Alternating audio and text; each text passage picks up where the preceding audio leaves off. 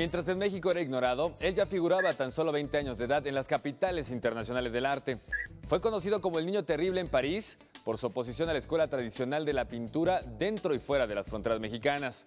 Hoy conversaremos con el hombre, con el pintor, dibujante, escritor, grabador e ilustrador mexicano José Luis Cuevas, una de las principales figuras de la generación de la ruptura con el muralismo mexicano. Considerado como un artista precoz, José Luis Cuevas eligió durante su adolescencia a enfermos mentales como modelos para sus pinturas. Dibujante, pintor, grabador, escultor y escritor autodidacta, Cuevas nació el 26 de febrero de 1934 en la Ciudad de México. Desde la infancia, su profesor quedó asombrado ante su vocación por el dibujo. En su juventud, José Luis Cuevas perteneció a la llamada Generación de la Ruptura, integrada por un grupo de artistas que cuestionaban y reaccionaban contra la cultura oficial y la Escuela Mexicana de Pintura de la época, representada por los muralistas David Alfaro Siqueiros, Diego Rivera y José Clemente Orozco. A mediados de la década de los años 50, su obra comenzó a ser reconocida por los coleccionistas y expuesta en América y Europa. Fue en esa época cuando el gran pintor y escultor español Pablo Picasso compró dos de sus obras. Con su arte, que versa entre retratos y dibujos de criaturas desfiguradas, ha obtenido premios internacionales, incluido el de dibujo de la Bienal de Sao Paulo, el premio de grabado de la Trienal de Nueva Delhi, así como la Orden del Caballero de las Artes en Francia.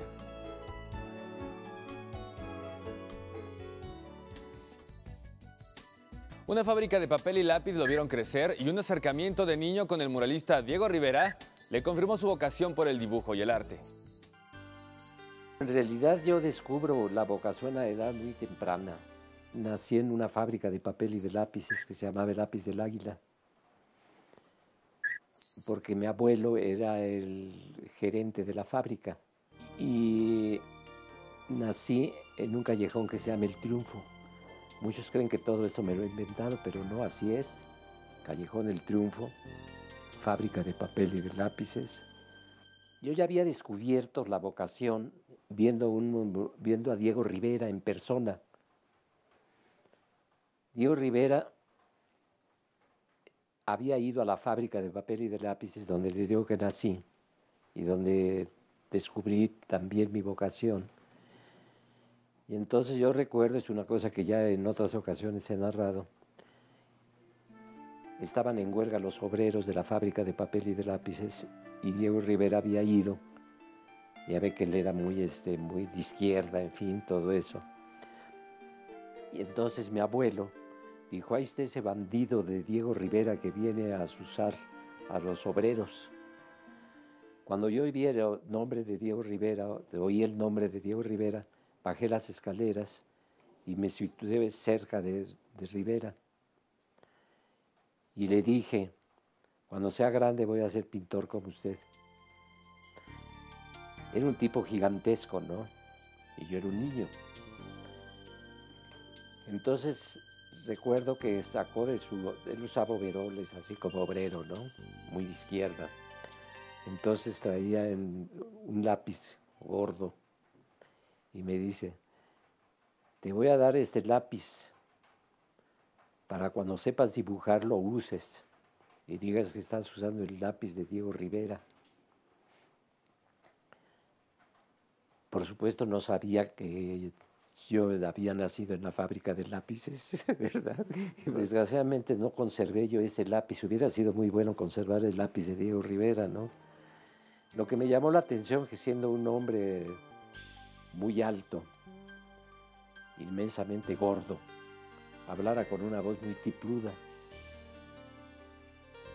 No podría imaginar que iba a hablar con una voz ronca, ¿verdad? Pero no era así.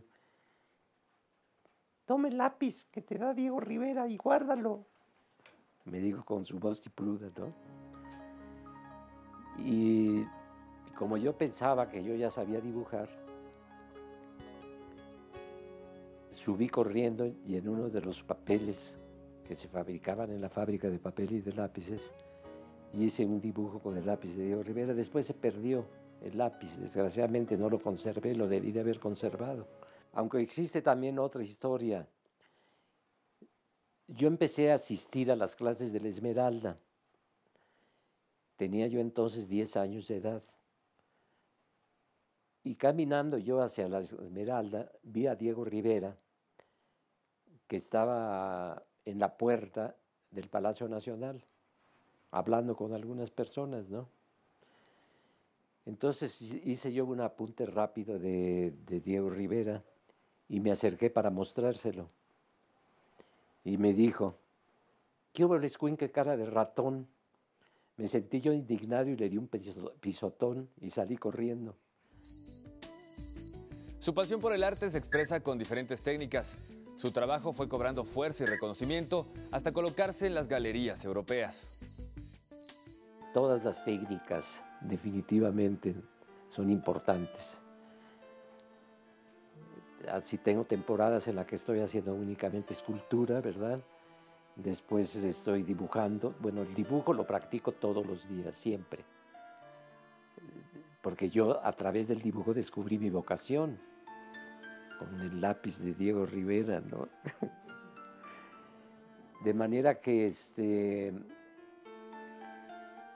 de pronto me despierto y soy escultor, o despierto y soy pintor, o soy dibujante, o soy incluso escritor porque también escribo. No sé manejar internet ni nada de eso. Con trabajo una máquina de escribir viejísima que ahí la tengo atrás de mí, que es en lo que escribo, y no se me da definitivamente las nuevas técnicas, no las sé usar. Yo expongo en París el año de 1950 en la Galería d'Arlev, que era una galería muy eh, importante de aquel tiempo. Y entonces Picasso estaba en París en ese momento, él vivía en Valory, pero estaba en París porque tenía una exposición en una galería de París. Y él visita la, galería Lev, donde tenía yo mi exposición. Entonces me habla Lev, me habla por teléfono a mí, al apartamento en el que yo estaba viviendo, y me dice, vente inmediatamente a la galería porque te tengo que dar una gran noticia. La noticia es que Picasso había visitado mi exposición y y había adquirido dos de mis dibujos. Picasso dejó un recado en la libreta de, visitas y decía, no sé si sabrás que yo también fui precoz como tú. Imagínense, yo sabía absolutamente todo de Picasso, pero en un arranque así de modestia por parte de Picasso dijo eso, ¿no? Yo quise tener esa hoja escrita por Picasso, ¿verdad? Por cierto, muy, en español, pero muy mal escrita mal español, ya se le había olvidado yo creo, de tanto vivir en Francia, ¿no? Y quise arrancar la hoja y me dijo, Lev, esto no se puede hacer eso de ninguna manera, me dijo con su acento francés, ¿no? Pero de todos modos sí me indignó mucho la actitud de, después de todo era un saludo a mí que dejaba Picasso, ¿no? Y fíjate lo que sucedió, pasaron muchos años y en la Sotheby de Londres se lleva a cabo una venta de autógrafos de artistas famosos. Y entre todos ellos estaba Picasso con la hoja en la que había dejado ese elogio a mí, a mí, ¿no? Y se estaba subastando a precio muy elevado. Se había vendido la esa hojita de Picasso a precio muy elevado en la Sotheby de, Londres, ¿no? Por consiguiente no podía yo comprarlo porque estaba demasiado caro, ¿no? En su trayectoria, su contacto con distintos personajes de diferentes ámbitos ha dejado en José Luis Cuevas una influencia que se refleja no solo en su obra, sino también en su propia personalidad. Hay un libro que acaba de publicarse que es, eh, las cartas de amor amorosas que yo le he dirigido a mi esposa Beatriz del Carmen. Me mostró el color efectivamente porque yo me expresaba más que nada a través del dibujo, de la escultura, en fin, pero no del color.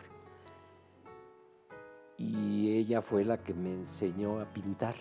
si mi esposa es una magnífica colorista, ¿por qué no voy a aprovechar, verdad? Que ella me enseñe a aplicar el color, ¿no? Así es. Otra historia de amor. Entonces, eso se vale, ¿no?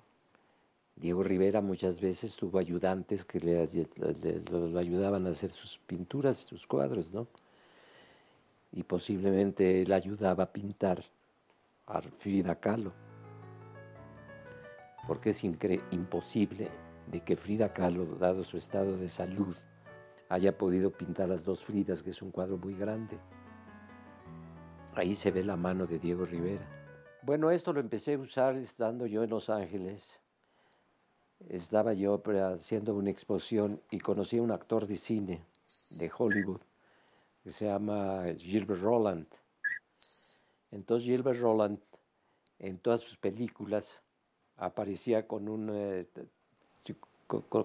una cosa de estas de cuero, ¿no? Y tenía toda una colección de... Y yo las estaba viendo porque tenía, las tenía puestas en una vitrina y me dice, ¿te habrás dado cuenta que yo siempre en mis películas aparezco con una pulsera de cuero? Te voy a regalar una, porque me, ha traído muy buena suerte, sobre todo con las mujeres. Me entregó una. Desde luego que esta no es la misma que me dio este Gilbert Roland, ¿no? Pero tenía razón. Sí me trajo suerte con las mujeres. José Luis Cuevas no ha perdido su postura crítica. Así como se atrevió en los años 50 a ir en contra de la escuela tradicional de la pintura, ahora lo hace también con las nuevas generaciones de artistas mexicanos, de quienes asegura han caído en modas a las que califica como absurdas. No hay propuestas, no hay absolutamente nada, hay tonterías. Hay definitivamente tonterías. No hay buenos artistas por el momento, ¿no? No ha surgido un José Luis Cuevas desde hace muchos años. Esto parece un poco pretencioso, pero así es. La generación de la ruptura fue definitivamente importante, ¿no? Yo Rosco lo admiraba muchísimo. Era el artista que yo más admiraba de los mexicanos, definitivamente. Pero eh, al paso del tiempo empecé a admirar ciertas obras de Diego Rivera, que no era tan malo como yo decía que era, que después de todo tenía sus méritos. Diego Rivera, aparte de haberme regalado un lápiz para que yo dibujara, ¿verdad? tenía sus méritos Diego Rivera, y Siqueiros, acabé siendo muy amigo de David Alfaro Siqueiros. Después de haberlo atacado muchísimo, a todos los atacaba yo en una forma, no sé yo cómo me atrevía, ¿no? Porque además andaban armados ellos. Hay una anécdota de, de Diego Rivera, ¿verdad? Bajaba las escaleras del Palacio de Bellas Artes y andaba armado.